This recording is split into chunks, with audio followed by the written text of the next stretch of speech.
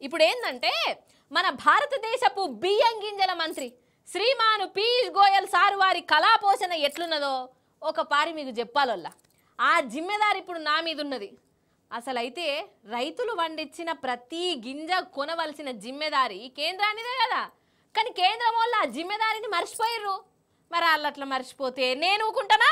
నా జిమ్మెదారి కూడా పూర్తి చేయాలి కదా అందుకే బియ్యం మంత్రి గారు మన తెలంగాణ మీద మన రైతుల మీద మాట్లాడిన బేకారు ముచ్చట్లు నేను చెప్తా ఇనుండ్రి మీరు. అయ్యో కేంద్ర మంత్రి ముచ్చట్లన్నీ బేకారు ముచ్చట్లని గంత మాట అన్నవేందవ్వా? అని అంటారా? మరి ఏం చెయ్యాలి వల్ల మనల్ని మన తెలంగాణ రైతుల్ని అవమానం చేసిండి కేంద్ర మంత్రి సారు. ఏమంటుండో ఎరికేనా? అసలు మిమ్మల్ని గన్ని గనం ఒడ్లు ఎవడు వండించమన్నాడు భయ్ ఇప్పుడు బంపర్ క్రాప్ వచ్చిందని మొత్తం కొనమంటే మేమెట్లా కొంటాం? ఆయ్! అన్నట్టు ఇగో ఇట్లా ఉల్టా మాట్లాడుతున్నాడు వల్ల అసలు అయితే మన మంత్రులు ఎంపీలు కేంద్ర మంత్రి సారును కలుద్దామని పోయిర్రు కదా ఈ ధాన్యం మీద ఏదో ఒకటి తెలుసుకుందామని. కానీ వాళ్ళకు అపాయింట్మెంట్ కూడా ఇవ్వకుండా సతాయించింది గోయల్ సారు. అయ్యో రాష్ట్రం తరపున మాట్లాడేటందుకు వచ్చిన వాళ్ళను గట్లెందుకు సతాయించినావు సారు అని ఈ లేఖర్లు అడిగితే ఏమంటుండో ఇనుండ్రి మీరు? I was in Mumbai on Saturday I was in Uttar Pradesh on Sunday who has them to come come and sit here? I am surprised there should we we are all busy everybody is busy in our work how they are also free that they don't have any work because they don't want to serve the people of Andhra Pradesh విన్నారా అర్థమైందా నేను తెలుగులో చెప్తా తెలంగాణ మంత్రులు ఎంపీలను అసలు ఢిల్లీకి ఎవడు రమ్మన్నాడు వాళ్ళను కలవడానికి మాకు పని పాట లేదా వాళ్ళను కలుసుడేనా మా పని అని అంటున్నాడోళ్ళ తెలంగాణ మంత్రులు ఎంపీలను రామచంద్ర అసలు కేంద్ర మంత్రి సారు మాట్లాడవలసిన మాటలేనా ఇవి రైతుల గురించి తెలంగాణ మంత్రులు ఎంపీలతో మాట్లాడేందుకు కూడా టైం దొరుకుతలేదట ఈ కేంద్ర మంత్రి సారుకు.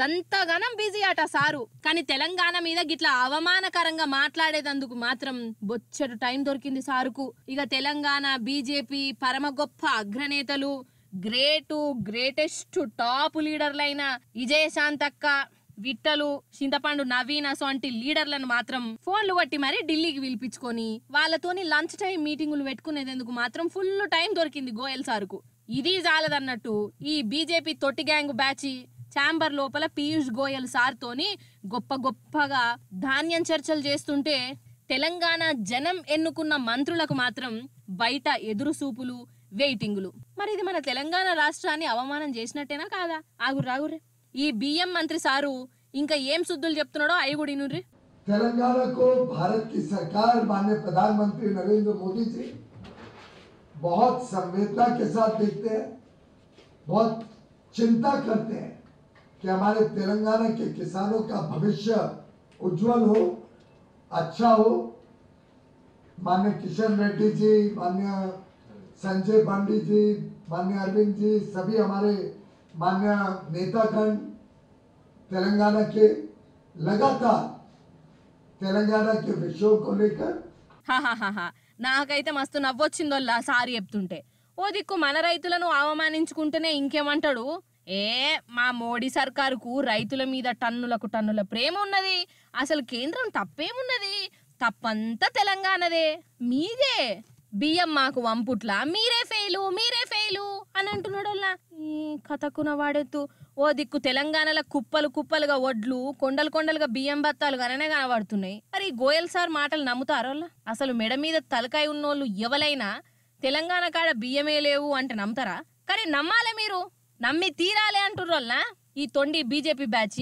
ఇక ఈ బీజేపీ వాళ్ళు ఆడుతున్న డబుల్ గేమ్ చూసి వీళ్ళకు ఆ దేవుడే మంచి బుద్ధిని ప్రసాదించుగాక అని అంటున్నారు వాళ్ళ తెలంగాణ రైతులు?